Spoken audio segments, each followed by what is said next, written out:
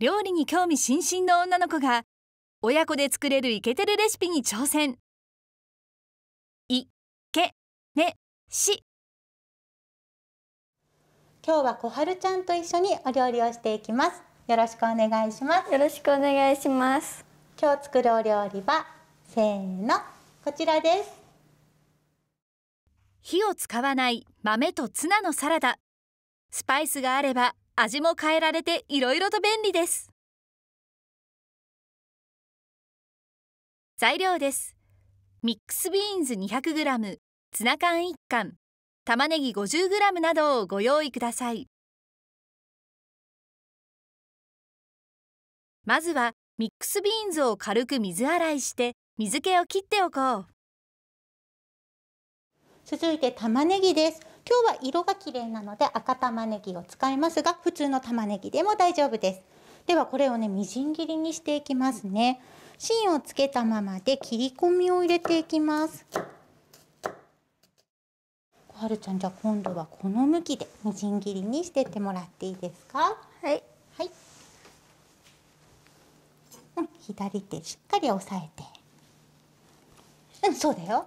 ゆっくりで大丈夫だよ玉ねぎのみじん切りはやったことがないという小春ちゃん。ドキドキしながら玉ねぎを切っていきます。お上手に切れてるじゃん。これでもうみじん切りはバッチリだね。今日はこの玉ねぎ生で食べるのでちょっと辛みがね嫌なので辛みを抜きます。お塩をね振って。もみもみします。全体に行き渡ったらばこの後5分ぐらい置いておきますね。これでね辛みがじわじわと抜けてくれます。5分経ったら軽く玉ねぎを洗っていこう。水気をよく切ったらキッチンペーパーでさらに水気を切っていきます。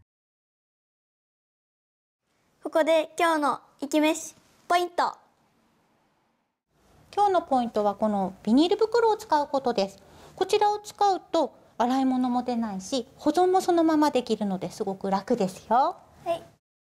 じゃあまずミックスビーンズですね。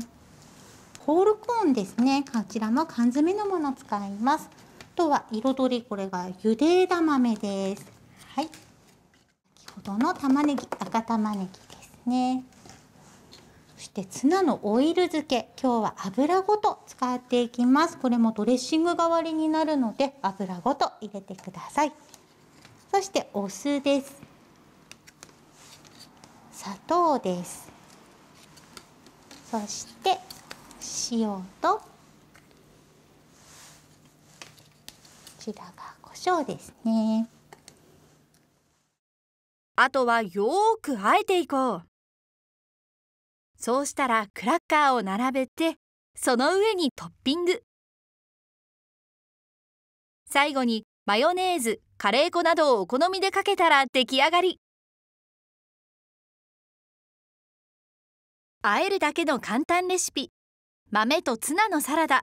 とっても美味しそう。サラダが好きな小春ちゃん。一口でパクリ。カレー粉が美味しくてネギが全然辛くないです。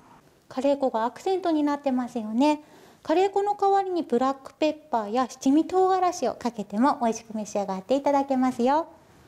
美味しかったです。ぜひ皆さんも作ってみてください